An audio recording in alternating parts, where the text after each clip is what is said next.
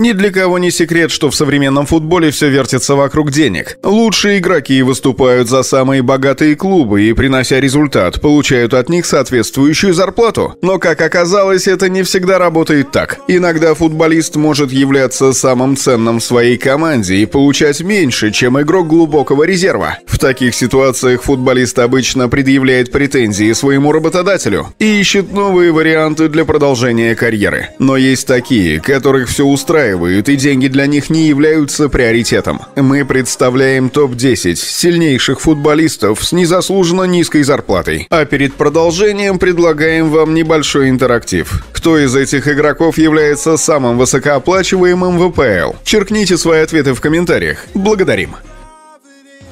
Тео Эрнандес. Милан. Полтора миллиона евро в год. Француз перебрался в Милан летом 2019 года из мадридского Реала. За молодого левого защитника Росанери заплатили королевскому клубу 21,5 миллион евро. В своем первом сезоне Тео завоевал себе место в основе и постепенно вырос в одного из лучших крайних защитников серии А. Для футболиста, играющего на позиции левого защитника, француз демонстрирует непривычно высокую результативность. За два с половиной сезона в Милане Эрнандес забил 17 голов и отдал 18 ассистентов ассистов. На данный момент Тео, вероятно, является лучшим игроком в составе итальянского клуба. Но, несмотря на это, футболист занимает всего 13-ю строчку в зарплатной ведомости Милана. Француз получает ежегодно полтора миллиона евро в год. А брат Тео Люка из Мюнхенской Баварии поднимает 10 миллионов 200 тысяч в год. И при этом он не ярко выраженный лидер, как, например, Тео в Милане. Росанери лишь недавно взялись за ум и решили исправить эту несправедливость. Клуб хочет наградить защитника новым контрактом с увеличением оклада в три раза. По новому соглашению Тео сможет зарабатывать 4 миллиона в год. Но француз пока не спешит принимать решение, ведь его услугами сейчас интересуются многие топ-клубы, в числе которых Пари Сен-Жермен. Он наверняка предложит Эрнандесу гораздо больше. Робин Госсенс, Аталанта, 800 тысяч евро в год.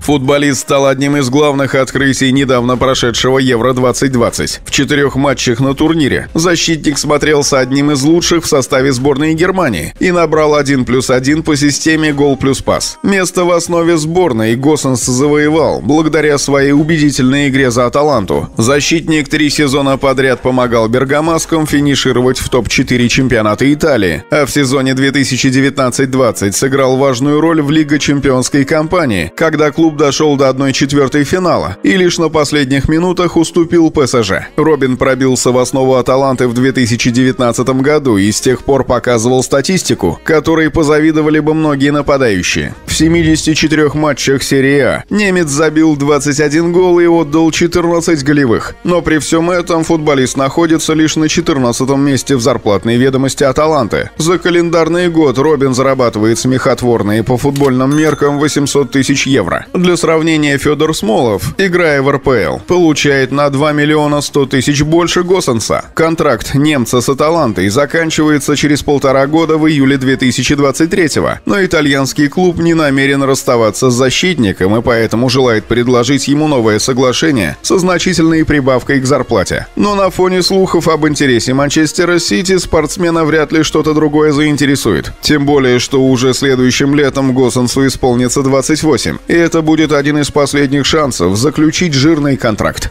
Скотт Мактоминей, Манчестер Юнайтед, 1 миллион 170 тысяч евро в год. Спортсмен является воспитанником МЮ и всю свою сознательную карьеру провел в стане манкунианцев, проделав путь от юношеских команд различных возрастных категорий. Мактоминой, наконец, дебютировал за основу в мае 2017 года в выездном матче против Арсенала. За 7 минут до конца основного времени МЮ уступал канонирам со счетом 2-0. Тогдашний тренер манкунианцев Жозе Мауриню решил, ему нечего терять, и выпустил на поле талантливого игрока Академии. Мактоминой удалось произвести произвести серьезное впечатление на португальского наставника. И уже с середины сезона 2017-18 шотландец стал игроком основы, являясь опорником разрушительного плана. Мактомина идеально подходил для оборонительных задач Мауринью в матчах с топ-клубами. Благодаря своему трудолюбию и работоспособности за 4,5 сезона полузащитник успел провести за Манчестер Юнайтед 107 матчей в АПЛ, где отличился 11 голами и двумя ассистами. Но подобная статистика пока не подтолкнула руководство «Красных Дьяволов» наградить своего игрока новым контрактом, соответствующей зарплатой. Сейчас Мактоминой зарабатывает 1 миллион 170 тысяч евро в год. Это самый низкий показатель в команде. Для сравнения, тот же Антони Марсьяль, который в этом сезоне практически не выходил в основе манкунианцев, в год получает 15 миллионов. При всем при этом Мактоминея устраивает его нынешнее положение в клубе и до сих пор не появлялось ни одного слуха о том, что шотландец на что-то жалуется. Свой последний контракт Скотт продлил всего полтора года назад и в ходе переговоров не стал требовать у клуба жирной зарплаты. Один из немногих игроков в современном футболе, для которого деньги не главное. Ферлан Менди, Реал Мадрид, 3 миллиона 200 тысяч евро в год. Футболист перешел в Реал летом 2019 года для того, чтобы окончательно вытеснить из основы мадридского клуба легендарного Марсело. Французу понадобилось всего полгода. В отличие от бразильца, Менди был одинаково надежен как в обороне, так и в атаке, чем и заслужил доверие Зинедина Зидана. На данный момент Ферлан провел за команду 86 матчей, в которых забил 4 гола и отдал 5 голевых передач. Француз остается первым выбором и при Карло Анчелотти, но при этом зарабатывает вдвое меньше Марсело, который всего пять раз появлялся на поле в этом сезоне. Зарплата Менди в Реале Мадрид составляет 3 миллиона 200 тысяч евро в год. Меньше него в клубе зарабатывает только украинский спортсмен Андрей Лунин, чей годовой оклад составляет 3 миллиона. Минди уже требует от клуба новый контракт, но на данный момент Реал не готов удовлетворить требования игрока. Возможно, из-за того, что зарплатная ведомость мадридского клуба чересчур перегружена такими футболистами, как Гаррет Бейл и Эден Азар. Сливочные пока не торопятся повышать зарплату некоторым игрокам. Вполне возможно, что и в ближайшие годы ситуация не изменится. Минди захочет покинуть Реал и перейти в клуб, который оплатит его труд по достоинству, но это покажет время. Андреа Белотти, Тарина, 2 миллиона евро в год.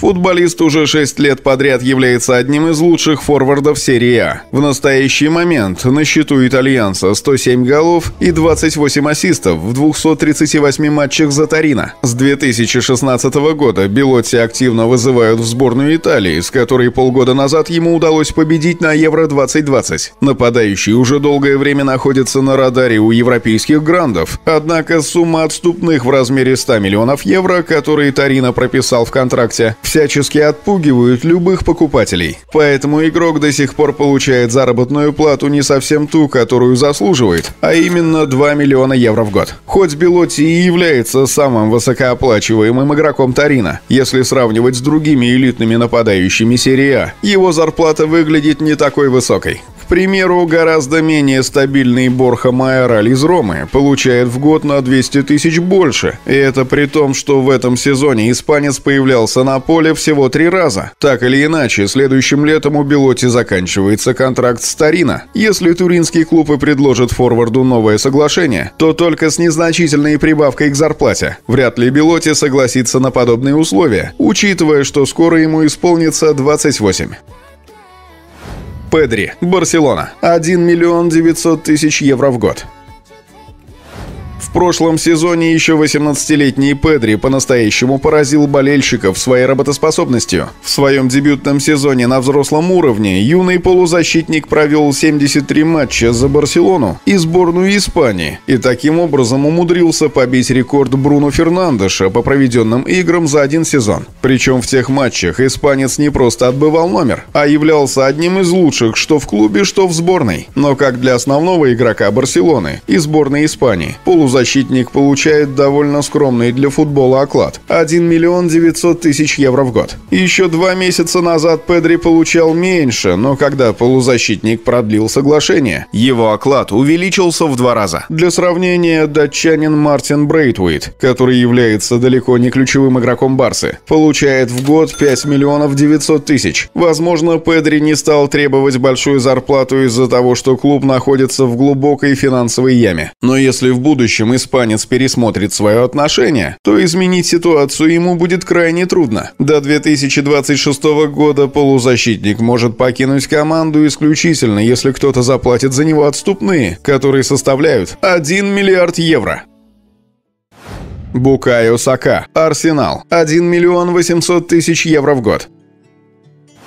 Футболист последние два с половиной сезона стал одним из ключевых игроков для Арсенала и сборной Англии. Главный тренер трех львов Гаррет Саутгейт сделал его основным на Евро-2020 и даже доверил игроку пробить решающие пенальти в финале турнира против Италии. Пусть Сака 11-метровый не реализовал, но он принес команде много пользы и сделал важный вклад для выхода в финал. Что касается Арсенала, то болельщики канониров считают его самым ярким игроком последних сезонов. Университет универсальный англичанин способен сыграть на любом фланге атаки и защиты. За 79 матчей ВПЛ Сака забил за канониров 12 голов и отдал 13 ассистов. Но при всех этих достижениях Букайо зарабатывает в арсенале в разы меньше футболистов, которые давно перестали показывать свою лучшую игру. Одним из самых ярких примеров было бы сравнение с Калумом Чемберсом, который на данный момент зарабатывает 2 миллиона 900 тысяч евро в год, в то время как годовой оклад Сака составляет 1 миллион 800 тысяч. Чемберс выступает за канониров с 2014 года, но после двух неоднозначных сезонов он каким-то чудом смог остаться в команде, при этом практически не появляясь на поле. Свой последний контракт с клубом Сака подписал еще летом 2020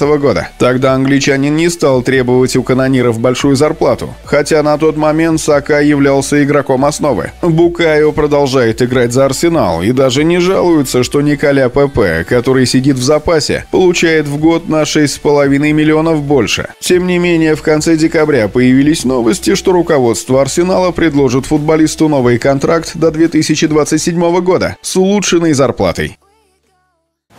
Микель Айерсабаль. Реал Сосъедат. 2 миллиона 200 тысяч евро в год.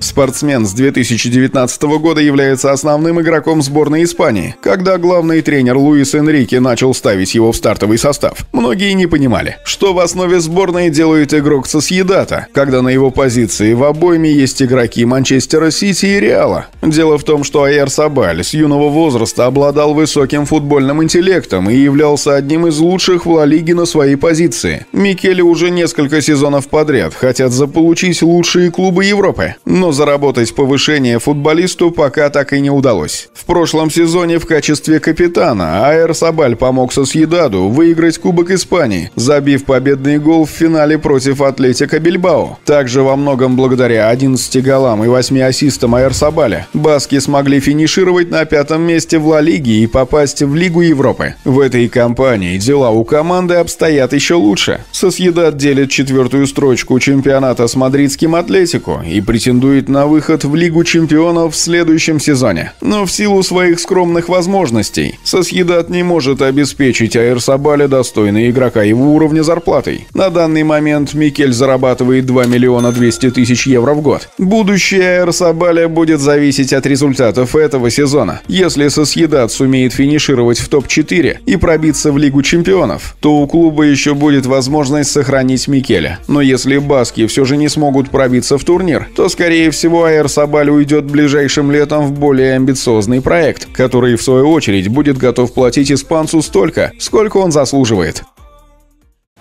Эдуар Минзи, Челси. 3 миллиона 170 тысяч евро в год.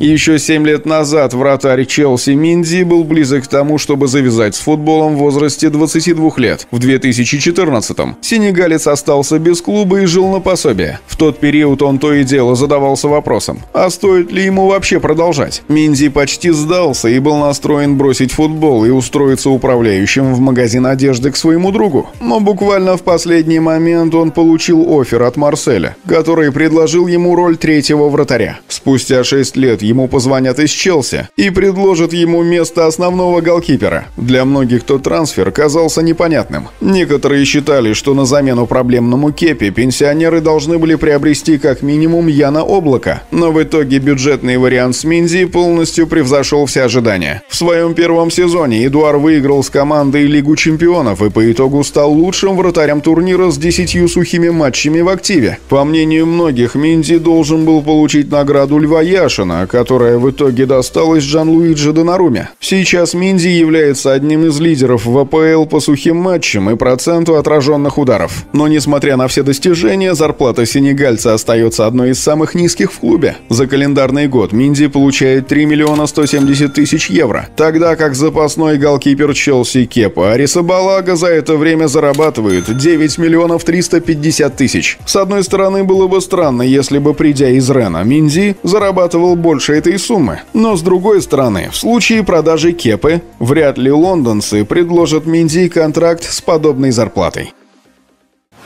Душин Влахович. Фиорентина. 1 миллион евро в год.